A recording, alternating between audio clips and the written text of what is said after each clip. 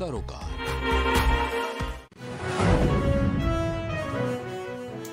Delhi CM Kejriwal का ऐलान, कहा कर्नाटक की सभी सीटों पर चुनाव लड़ेगी आप।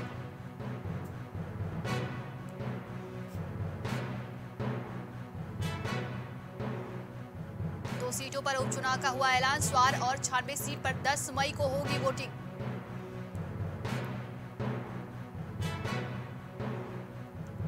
प्रमुख अखिलेश यादव का बयान कहा 2024 का चुनाव देश और संविधान बचाने का आखिरी चुनाव है।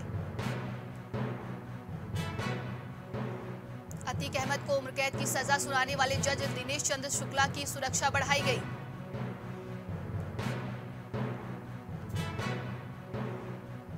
बड़ा चीतों का कुनबा नामीबिया से आई मादा चीता सिया बनी माँ, चार बच्चों को दिया जन्म।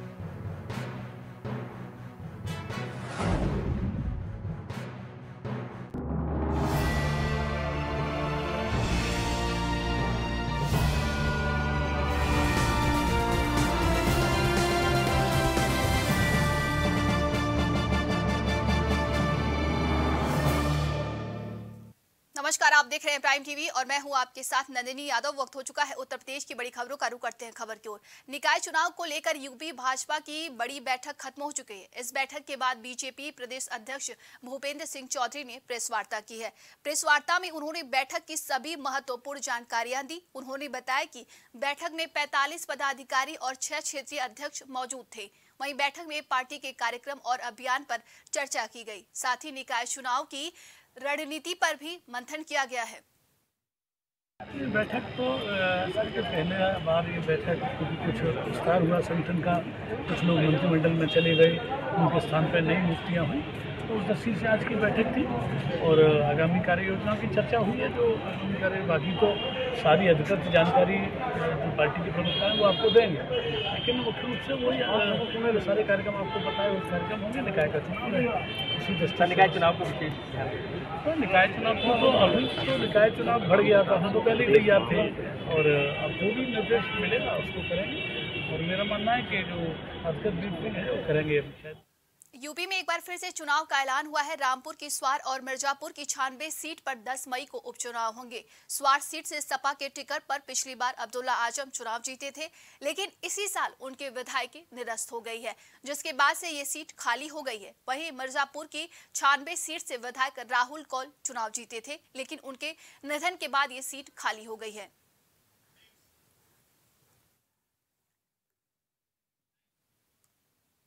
हमीरपुर में एक दिवसीय दौरे पर आए डिप्टी सीएम ब्रजेश पाठक ने मौदहा सीएससी अस्पताल का औचक निरीक्षण किया। सीएससी का निरीक्षण करने के साथ ही उन्होंने आयुष्मान कार्ड काउंटर पर जाकर जायजा लिया। साथ ही बीजेपी कार्यालय में पहुंचकर कार्यकर्ताओं से मुलाकात भी की। निरीक्षण के दौरान डिप्टी सीएम ब्रजेश पाठक ने कहा कि केंद्र और प्रदेश की योजनाओं को बुंदेलखंड में धरातल पर लाना ही उनका उद्देश्य है।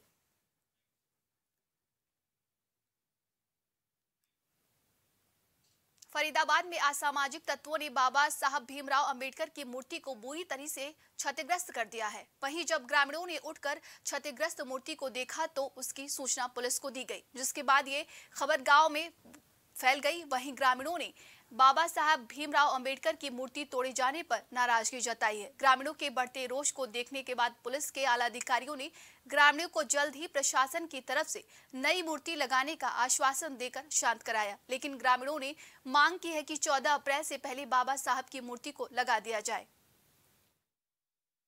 यहाँ सवेरे साढ़े छः बजे का डायल एक सौ बारह से फ़ोन आया था।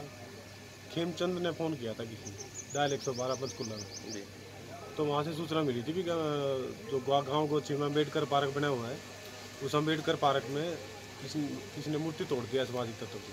अंबेडकर जी। अंबेडकर पार्क में सरकारी स्कूल के पीछे। जी। तो सूचना पाकर फिर हम यहाँ मौके पा के थे यहाँ के देखे जो भी अब शिकायत देंगे उस पर कार्रवाई दे दी। शिकायत दे दी उस पर कार्रवाई करेंगे। ये रात के समय किसी ने ये जो वारदात करी है वो गलत करी है। हाँ। और हमें इस चीज़ का अफसोस है। बहुत ज़्यादा। और क्या कहना है जो भी काम कर रहा है आमने सामने आन के करे तब तो मज़ा आएगा। तो बाबा साहब की मूर्ति खंडित किया गया है। हाँ बाबा साहब की मूर्ति को खंडित किया गया है। जो काम करना है हमारे सामने करे तभी पता पड़े आमने सामने की लड़ाई लड़े। मैं पहले तो मैं सबसे यही कहूँगा मेरे जितने प्यारे भाई हैं वो ये चीज़ देख ही रहे हैं कि भाई ये क्या हुआ है रात को कितने बजे हुआ ये तो अभी पता नहीं है बाकी पुलिस प्रशासन पूरा आया हुआ है उसकी इंक्वायरी करेगा। मेरी सभी से यही प्रार्थना है कि एक तो हमारी नई मूर्ति लगाई जाए चौदह अप्रैल से पहले पहले और उनको गिरफ़्तार किया जाए जिसने यह हादसा किया है। अमरोहा के नौगावा सादात थाना क्षेत्र के गाँव उस्मापुर के रहने वाले मुस्लिम युवक अजहर अब्बास नकवी मुख्यमंत्री योगी आदित्यनाथ के फ़ैन हैं। दरअसल युवक ने कलेक्ट्रेट में मुस्लिम कम्युनिटी के लोगों पर आरोप लगाया है उन्होंने कहा कि वो योगी आदित्यनाथ के काम को लेकर वीडियो बनाते हैं और उसको सोशल मीडिया पर वायरल करते हैं, जिसके चलते उनकी मुस्लिम कम्युनिटी के लोग उनका विरोध कर रहे हैं और उनको रामायण पढ़ने की और हिंदू धर्म अपनाने की धमकी भी देते हैं वहीं दिल से वो मुख्यमंत्री योगी आदित्यनाथ को लाइक करते हैं। मामला यह है कि मैं जो है, क्या नाम है, योगी आदित्यनाथ जी का फ़ैन हूँ और उनके कामों के बारे में मैं बताते रहता हूँ, उन्होंने किस तरीके से काम करे हैं। सारा भ्रष्टाचार उत्तर प्रदेश से उन्होंने खत्म कर दिया। आज आप उत्तर प्रदेश में पूरे भारत में देख लीजिए, एक भी गुंडा नहीं है उत्तर प्रदेश में। सारे गुंडे खत्म हो चुके हैं। अगर हमारी एक लाख की चीज़ भी सड़क पर पड़ी है या हमारे खेत में हमारा ट्रैक्टर भी ऐसी खड़ा है तो उसे कोई टच करने वाला नहीं है उत्तर प्रदेश में। तो योगी आदित्यनाथ जी ने जो काम किया, मैं उनका दिल से शुक्रिया अदा करना चाहता हूँ। ऐसे मुख्यमंत्री हमारे, हमें बनाने का कभी भी अवसर नहीं मिलेगा और हम चाहते हैं कि आने वाले समय में फुल सपोर्ट कर रहा हूँ मैं योगी आदित्यनाथ जी को। और आने वाले समय में हम दोबारा से योगी आदित्यनाथ जी को उत्तर प्रदेश का मुख्यमंत्री देखना चाहता हूँ। और क्या नाम है, प्रधानमंत्री हमारे नरेंद्र मोदी को देखना चाहता हूँ मैं भारत में। और मुझे इनके इन दोनों का कामों से बहुत बहुत उनसियत है। और ये सबसे बढ़िया काम कर रहा हूँ उत्तर प्रदेश का। आरिफ के बाद अब सुल्तानपुर में सारस पालना अफरोज को महँगा पड़ गया है। बताया जा रहा है कि बीती रात अफरोज के घर वन विभाग की टीम पहुँची और सारस को कब्जे में लिया। जहाँ सारस को ले जाने के बाद अफरोज बेहद निराश है। वहीं जिला वनाधिकारी की माने तो राजकीय पक्षी के पालने के आरोप में अफरोज पर सुसंगत धाराओं में कार्रवाई की जा रही है। वहीं सारस को वन विभाग कार्यालय में रखा गया है और सारस पूरी तरीके से स्वस्थ है। आलाधिकारियों को सूचना दी गई है। ये कल सूचना प्राप्त हुई थी दिन में कि लंबुआ तहसील के अंतर्गत ग्राम छतैना में किसी ने एक सारस रखा हुआ है। तो जैसा कि होता है सूचना मिलते ही हम अपनी टीम को वहाँ भेजते हैं और चूँकि ये वन्य जीव प्रकरण था इसलिए इसको अत्यंत गंभीरता से लेते हुए हमने अपने उप प्रभागी वनाधिकारी थे श्री डी के सिंह और क्षेत्रीय वनाधिकारी लम्बुआ मोहम्मद इब्राहिम इनको पूरी की टीम के साथ मौके पर भेजा। तो ये खबर सत्य पाई गई सारस वहाँ मिला और इस वजह से वन्य जीव अधिनियम उन्नीस सौ बहत्तर के तहत किसी भी जीव को और ये राज्य पक्षी है शेड्यूल वन बी का है इसको कोई व्यक्ति पाल नहीं सकता बिना परमिशन के। तो ये एक अवैध कार्य था। इसलिए उन, जो उस व्यक्ति के यहाँ पाया गया कोई मिस्टर अफरोज थे, उनके विरुद्ध सुसंगत धाराओं में हमने अपना जो मुकदमा होता है वो दर्ज किया है। और उसी समय उस सारस को हमारी टीम अपनी अभिरक्षा में लेकर के शकुशल सुल्तानपुर प्रभागी परिसर में ले आई है। जी, मेरा नाम है अफरोज खान, सुल्तानपुर का रहने वाला हूँ। लमसम साढ़े पाँच महीने छः महीने के करीब सारस मुझे मिला जो मुर्गी के बच्चे की तरह था। ना पता चल पाता था कि बत्तख का बच्चा है कि सारस का है मुर्गी का। तब से हमारे बीच में हमारे घर वाले उसे बहुत अच्छे से क्योंकि वो जब खाना नहीं खाता था तो हम लोग उसको अपने, उसकी टोट खोल के उसे खाना खिलाते थे। और धीरे धीरे चल रहा था। फिर अचानक आरिफ वाला मामला हुआ, तब पता चला कि स्टेट पक्षी है, इसकी कुछ कानून और नियम है। फिर कल वन विभाग वाले आए सर और लेके चले गए। बताएँ कि आप नहीं रख सकते। मैंने काफ़ी रिक्वेस्ट की कि, सर दो तीन महीना जब तक वो उड़ नहीं पाता, तब तक तो मेरे पास रहने दीजिए। उसके बाद आप ले जाइएगा, क्योंकि जितनी सेवा मैं कर सकता हूँ, शायद कोई नहीं कर सकता। क्योंकि हम सुबह आलू, एक किलो आलू और और एक किलो आटा उसके लिए बना के रखते थे।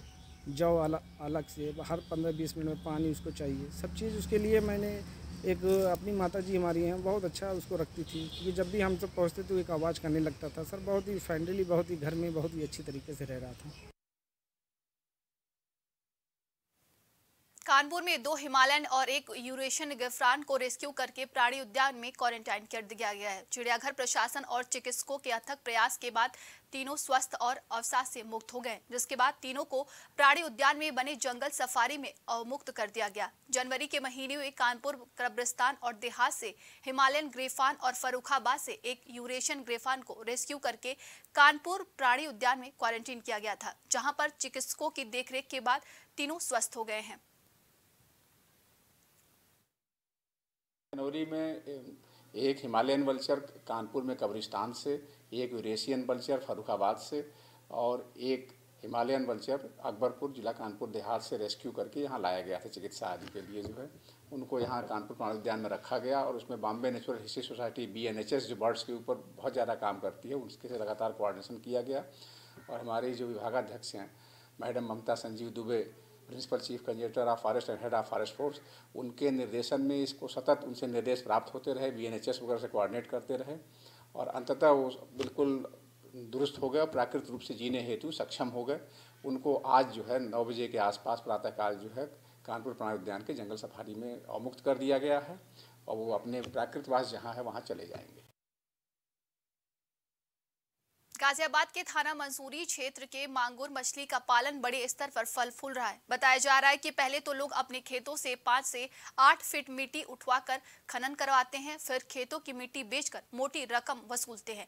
उसके बाद खेतों को खंडर बताकर मांगूर मछली जैसी मछली का पालन बड़े स्तर पर करते हैं। वही मांगूर मछली कैंसर जैसी अन्य बीमारियों जैसे थायराइड, हृदय रोग, डायबिटीज़ जैसी बड़ी बीमारियों को जन्म देती है। साथ ही इनकी वजह से पर्यावरण को भी भारी नुकसान होता है। इसी कारण राष्ट्रीय हरित प्राधिकरण ने इस पूरे इसको पूरे भारत में बैन किया हुआ है।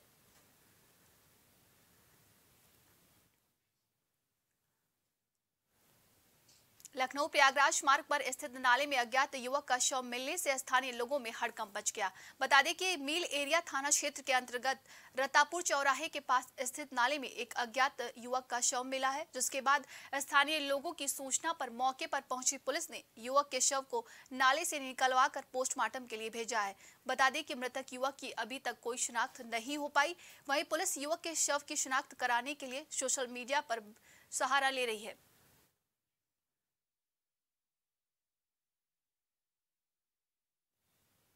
अलीगढ़ में बकायेदारों के खिलाफ विद्युत विभाग के द्वारा बड़ा अभियान चलाया जा रहा है, जिसके तहत विभाग के द्वारा कैंप लगाकर लोगों को जागरूक करने के साथ साथ बकायेदारों को हिदायत देते हुए उनके मीटर उखाड़े जा रहे हैं। साथ ही विभाग के आदेश का पालन न करने वालों के खिलाफ कार्यवाही की बात कही गई है। विभागीय योजनाओं और कैंप का जायजा लेने पहुँचे इगलास एक्सियन घनश्याम कुमार ने बताया की जन उपभोक्ताओं ने बिजली का बिल चेतावनी देने के बाद भी नहीं दिया है टीम द्वारा उनके बिजली मीटर उखाड़े गए हैं। पूरा मामला जिला अलीगढ़ के तहसील इगलास के कस्बा गोरई का बताया जा रहा है। आज बिजली विभाग जो मार्च क्लोजिंग है, उसमें हमारा राजस्व वसूली गोरी क्षेत्र की सबसे कम है। तो आज यहाँ पे कैंप लगाया गया है। पूरी टीम राजस्व वसूली के लिए लगाई गई है इसमें। और राजस्व वसूली में लोगों से अनुरोध किया जा रहा है कि आप इसमें लंदन बिलों का भुगतान करें। जिन लोगों के मीटर उखाड़े गए हैं उनमें पहले उनको कनेक्शन काट दिए गए थे। कनेक्शन काटने के बाद भी वो कनेक्शन चलते हुए मिले हैं इसलिए उनको मीटर उखाड़े